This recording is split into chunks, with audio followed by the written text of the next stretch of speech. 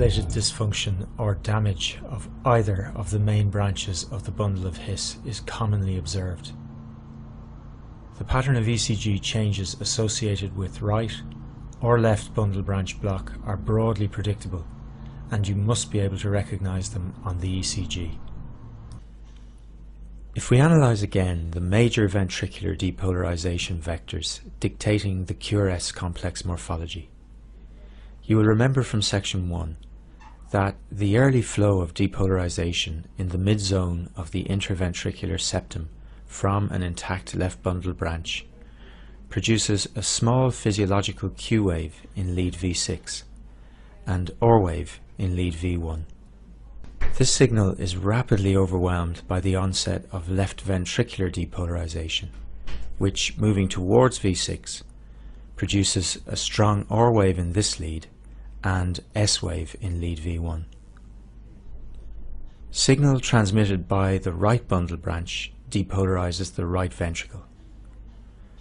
But the signal from right ventricular depolarization is usually buried in that generated from the larger left-sided chamber. The rapid conduction of depolarization around the chambers by an intact conducting system means that all regions of the ventricular myocardium are depolarized within 0.12 seconds. We will now deal with the ECG findings associated with right bundle branch block. When conduction in the right bundle branch is blocked, septal depolarization proceeds as normal from the intact left branch from left to right, producing an initial R wave in lead V1. Depolarization arriving as normal in the left ventricle then generates an S wave in this lead. In the presence of right bundle branch block, depolarization of the right ventricle is delayed and travels to the chamber by direct cell-to-cell -cell contacts. Slow depolarization of this chamber moving towards V1 produces a wide second R wave in this lead. Note also that this delayed right ventricular depolarization moving away from lead V6 produces a late slurred S wave in this lead. The QRS complex is broad, reflecting the delay in right ventricular depolarization. The ECG signal of right ventricular depolarization is normally masked by the signal from the much larger left ventricle. However, as right ventricular depolarization is delayed in the presence of right bundle branch block, depolarization of this chamber manifests as a delayed broad R wave in lead V1 and an S wave in lead V6. Abnormally wide QRS complexes with an RSR pattern in lead V1 and a delayed slurred S wave in lead V6 are the characteristic ECG findings of complete right bundle branch block. Note also that the highly abnormal pattern of depolarization in right bundle branch block results in an altered pattern of repolarization in the right ventricle. Right bundle branch block is therefore associated with ST and T-wave abnormalities in the right-sided chest leads. These abnormalities are a secondary phenomenon and do not necessarily indicate underlying ischemia or strain. The classic pattern shown here is seen in many cases. However, it is important not to become over-reliant on the presence of the RSR pattern or so-called rabbit's ears appearance in V1 to make the diagnosis. In many cases of right bundle branch block, the RSR pattern in V1 is not identifiable. The QRS complex in this lead either demonstrating a small notch between the two R waves or indeed having the appearance of one large R wave. The presence of a slurred S wave in lead V6 is said to be more reliable in the diagnosis of right bundle branch block. Also, the QRS complex in lead V1 must be overall positive to make this diagnosis. So, to identify complete right bundle branch block, apply the following criteria.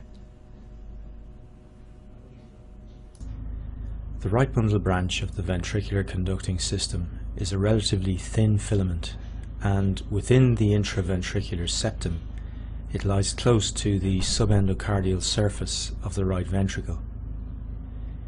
It is therefore liable to compressive damage secondary to increased pressure in the right ventricular chamber.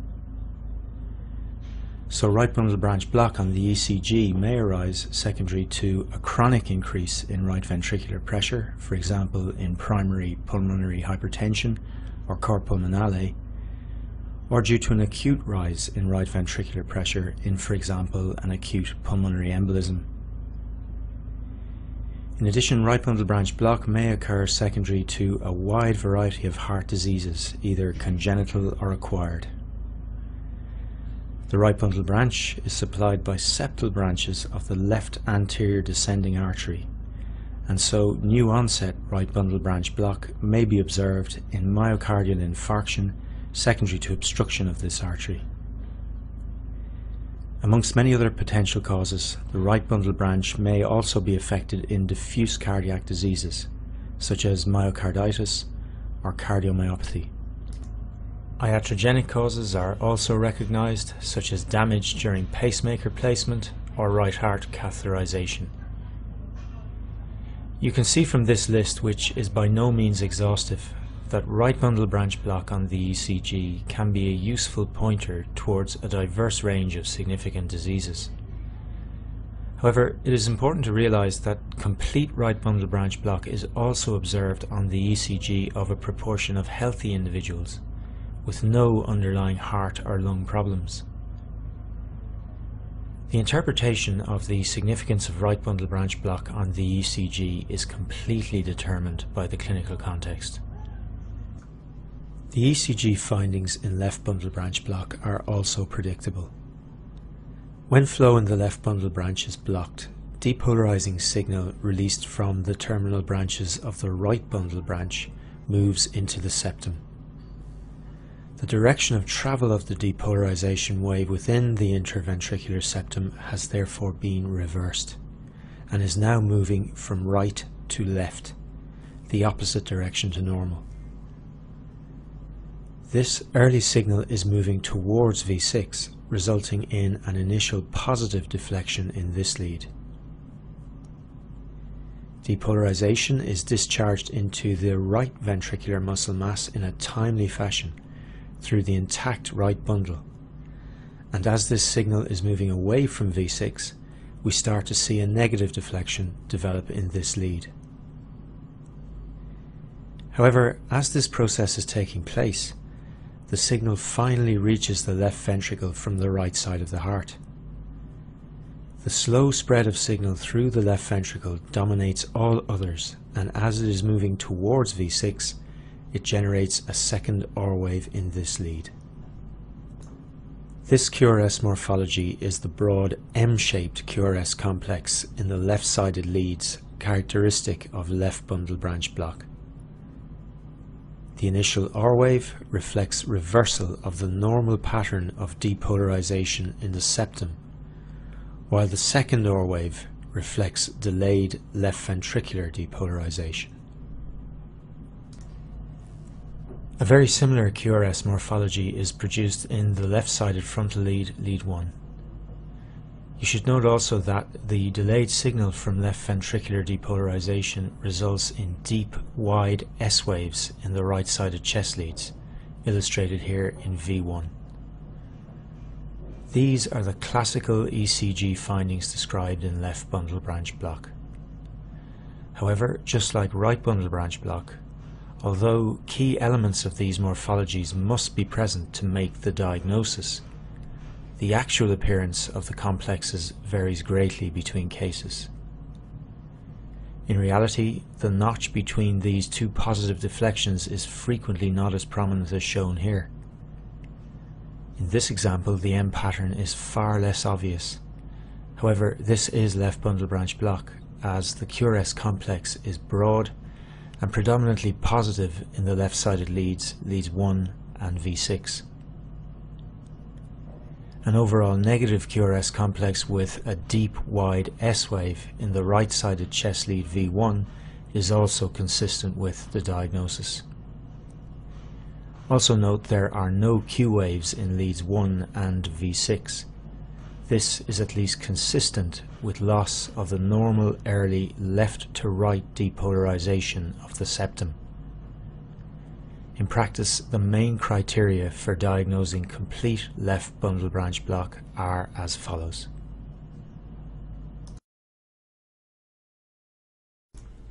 The complete lack of concordance between QRS complexes and T waves in left bundle branch block should also be emphasized. In left bundle branch block this is expected. The grossly abnormal pattern of depolarization produces secondary abnormalities of repolarization with ST elevation or depression in various leads and complete loss of concordance between QRS complexes and T waves across all leads. These changes are an electrical phenomenon secondary to the highly abnormal pattern of ventricular depolarization and do not indicate underlying acute ischemia or infarction. Block on an ECG is a highly abnormal finding. Significant damage to the left bundle branch is commonly seen in infarction secondary to obstruction of the left anterior descending artery. A new onset left bundle branch block may be the presenting ECG abnormality in a patient with anterior MI. Damage to the left bundle branch in this situation tends to be permanent following resolution of the acute MI, and the chronic ST changes associated with left bundle branch block then make interpretation of the ECG at any subsequent presentations with chest pain difficult. The left bundle branch may also be damaged in diseases causing diffuse damage to the left ventricle, for example hypertension, myocarditis, or cardiomyopathy from whatever cause. In addition, during part of its course, the left bundle branch has a close anatomical relationship with the non-coronary cusp of the aortic valve, and consequently, left bundle branch block is seen in diverse diseases of the aortic valve.